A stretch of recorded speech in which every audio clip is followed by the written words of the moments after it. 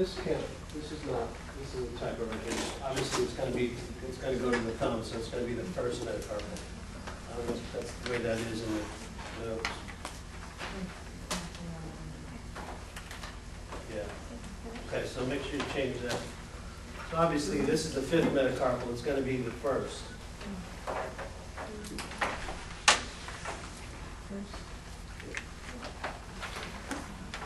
So the base of the first metacarpal, and then the trapezium, which is one of the carpal bones here.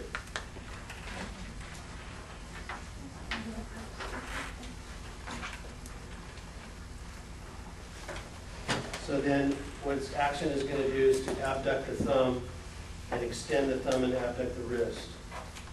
So this is, this is um, abduction of the thumb here. This is flexion, or this is opposition. This is flexion and extension, and then this is gonna be abduction. So it's pulling across like this. Why, why is that abduction and not abduction? Abduction is moving towards the midline of the body, but it's, it's, instead of, like, abduction is usually like this, right? Adduction, and then this is abduction.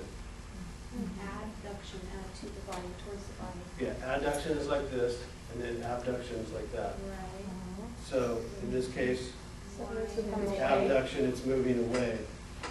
This is adduction because it's Oh. moving towards the palm. This is abduction, it's moving away.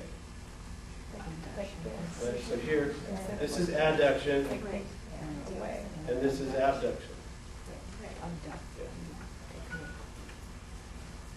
So then abductor pollicis longus is pulling up this way.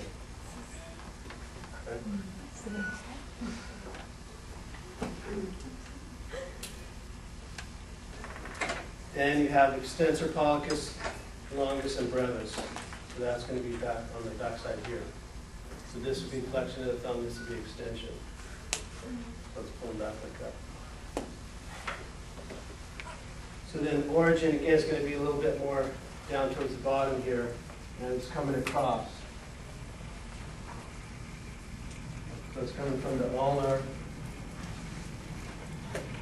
And those are the ones coming across here.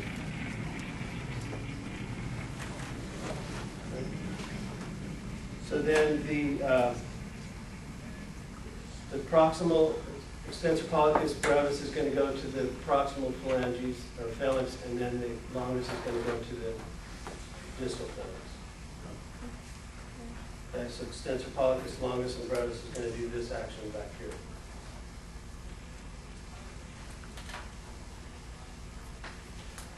And so then that leaves the extensor indicis, which is going to go to the index finger, and that's going to be a little bit farther distal down the forearm.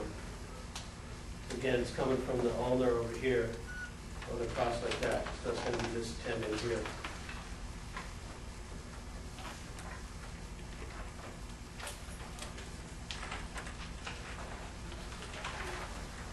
So now just to summarize, we're talking about now here, just remember, this is the arm, and then this is the forearm.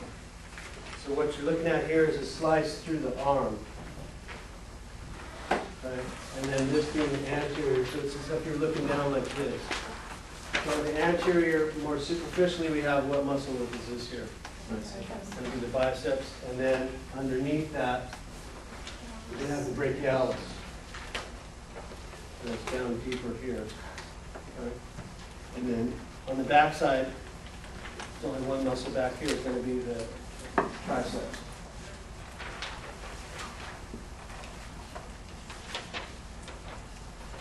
So now we get into the forearm. So here we're looking at the extensor muscles and then the flexor muscles here. And so here's the two bones here, and then like I say, there's the interosseous membrane.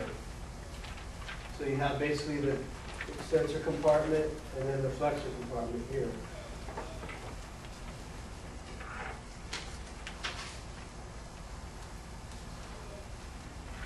And so again, the anterior is going to do flexion of the wrist and flexion of the fingers and the thumb, and then posterior compartment is going to do extension of the wrist and extension of the fingers.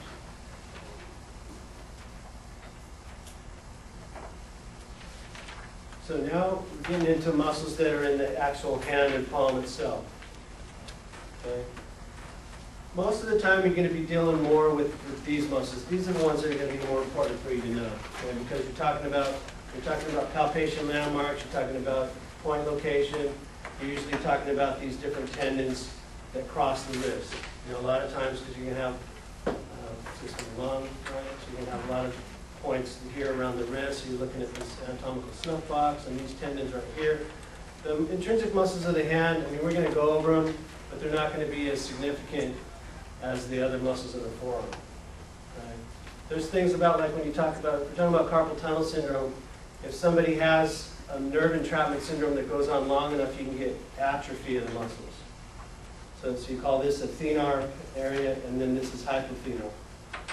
So you're talking about thenar atrophy, okay, or hypothenar, okay? And then a lot of times, you know, there's a lot of people that do a lot of body work, muscle work kind of things, they're gonna have pretty strong thenar pads, right? I mean, I do a lot of work with the hands, so I get pretty strong thenar muscles, okay? So these mu- muscles of the hand are gonna be ones that, obviously, you can feel the bellies of the muscles here. So where are there more muscles, on the palm of your hand or on the dorsal of your hand? Yeah, so you have a lot more on this side here. And then, obviously, fine control of the fingers is important for writing or doing all kinds of manipulation and doing things with the fingers. So there's a lot of uh, fine control. So you need a lot of extra muscles that are gonna move specifically the muscles, of I mean, the bones of the fingers.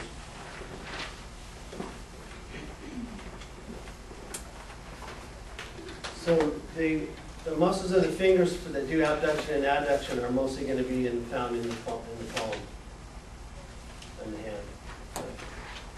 I mean, you can remove the thumb from the muscles that come across here, but abduction and adduction of the fingers is gonna be actually within the palm itself.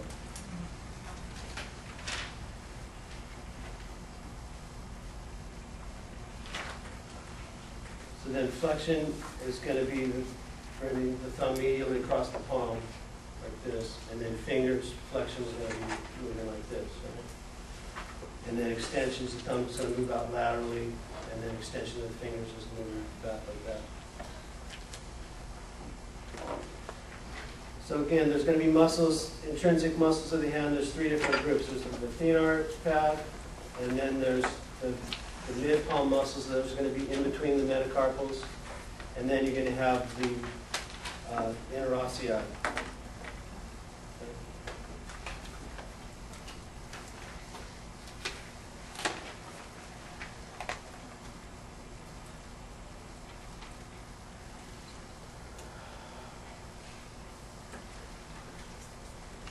Flexor, this is one that's crossing the wrist. You have the flexor pollicis longus.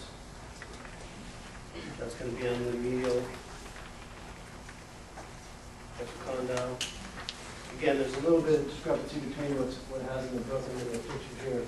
But the idea is it's gonna come across from the forearm and go into the thumb and the distal part.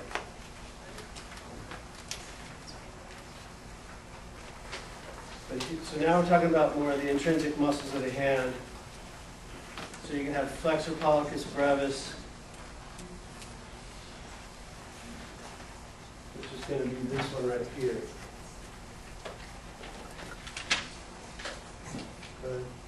And then you can have abductor pollicis. So again, abduction is moving away from the palm, so then the abductor is here, and then the flexor is gonna be over here. So the flexor is a little bit more medial.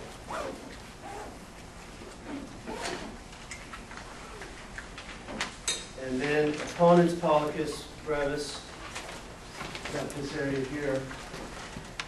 So it's coming at the flexor retinaculum. Remember the retinaculum was that membrane that goes across the front part of the wrist? So that's gonna pull this out like this.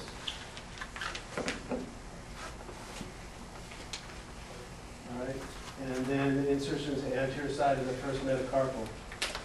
So it's pulling out like this.